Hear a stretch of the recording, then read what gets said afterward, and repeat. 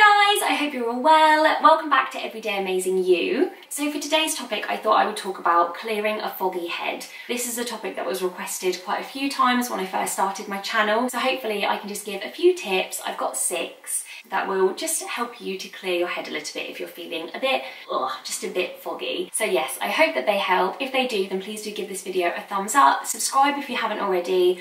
And as always, if you've got any more tips, leave them in the comments below or let me know if you've tried any of these and they've helped. Okay, so number one is to change your scenery. If you're in bed, then get out of bed. If you're at your desk, then go into another room. If you're inside, go outside. If you're outside, go inside. When you've got a foggy head, quite often it's because not only have you got a lot on your mind, but you've got a lot of kind of sensory input from the settings and the surroundings that you're in. So for example, if I'm at my desk and I've got a foggy head, it's probably because I've got the glare of the computer screen, maybe the light above me, the temperature in the room, maybe the noise of the extractor fan. If you're in bed, maybe it's, you know, got it. Sometimes all you need to do is change those senses, give your mind like a bit of a, a sensory flush I don't know if that's a thing, but yeah, just like a bit of a, a cleanse. Change the temperature, change what you're hearing, change what you're seeing and smelling and tasting, and quite often that will help you to refocus. Number two is to stretch.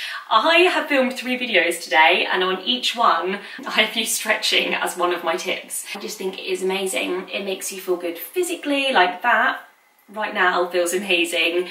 It makes you feel good mentally as well. It releases tension, which in turn releases stress and it's just a good way to kind of kickstart your body into moving, kickstart those positive endorphins as well, help you to just clear your mind and refocus. Number three is to drink water. For me, when I have a foggy head, I quite often also feel a bit tired and a bit just like tense and maybe a bit of a dry mouth, which I actually do now because I'm talking a lot. And having water will refresh you. Our bodies are made up of so much water. We need it to be able to focus and to function. So making sure that our bodies are always topped up with water and well hydrated will just mean that we are functioning and focusing to the best of our abilities. So yeah, if you're feeling a bit foggy in the head, drink some water and hopefully it can just give you a nice refreshing boost, especially if it's cold. Number four is to get some fresh air. When I wake up in the morning and I'm still feeling a little bit tired, a little bit groggy, I open the window, I stick my head out and I take like 10 deep breaths of fresh air and it sorts me out. It makes me feel really clear-headed and amazing. So why wouldn't it be the same during the day if I'm sat working, if I'm playing with my kids, you know, even out to lunch with my friends and my head is just feeling really foggy, stepping outside for five minutes, getting some fresh air, taking some deep breaths, just even just closing your eyes, inhaling through your nose, exhaling from your mouth, yeah, that's just a really nice way to clear your head, letting some oxygen flow through your body. Number five is to write down what's bothering you. You know, really think about it. Okay, why have I got a foggy head? I'm stressed about work. I'm worried that I'm not going to get paid on time. I'm, I've had an argument with that friend. I don't know, maybe I haven't exercised for a few days. I'm feeling heartbroken, whatever it is, write them down. And then ask yourself a question for each of them. Can I change it?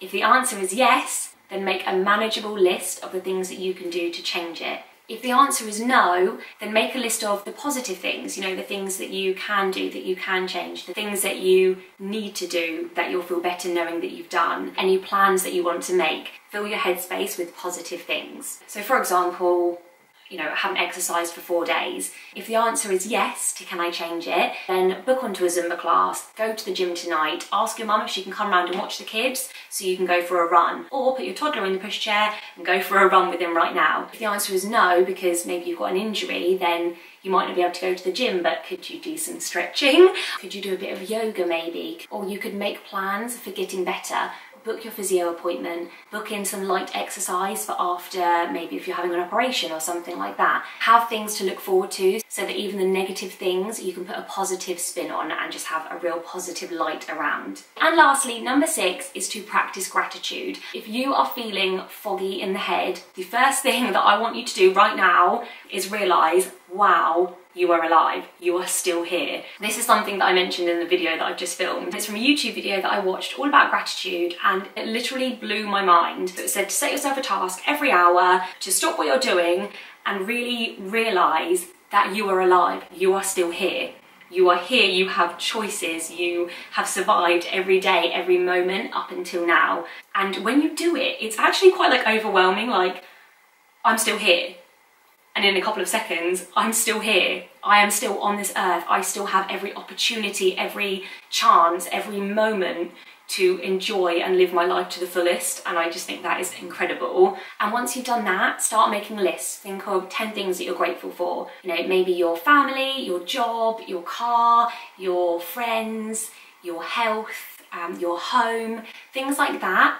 And then set yourself another challenge to do 100 things that you're grateful for. Your family is one. You can break that down into your partner, your children, your parents, your siblings, your aunties, uncles, grandparents. Your home is one, but also be grateful for the fact that you can pay for your rent or your mortgage. You can pay for the electricity to have light and heat in your home. You have running water, you have furnishings, you have a choice of bedding. When you really start looking into all of the things, there are millions of things to be grateful for. You know, you can hear and see and speak and touch, you can embrace, you can you can be grateful. The fact that you can be grateful is the biggest thing to be grateful for in itself. So yeah, I feel like I got very passionate about that then. But yeah, when you practice gratitude, you'll start to focus on the positive things and hopefully whatever the reasons are that are making your head feel a bit foggy will just be pushed out and be irrelevant. So yes, those are my six ways to clear a foggy head. I hope you found them useful and if you did, please do let me know in the comments below.